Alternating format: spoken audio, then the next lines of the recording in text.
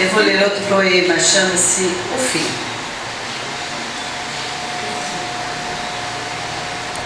O fim. Não te preocupes com o fim. Não vês que morremos todos os dias? Para renascermos também.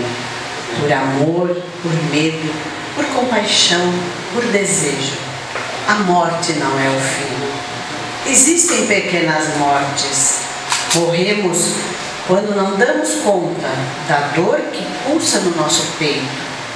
Morremos quando não conseguimos fazer sorrir a criança que existe dentro de nós. Morremos quando não conseguimos trilhar os caminhos. Morremos quando não conseguimos alcançar as estrelas.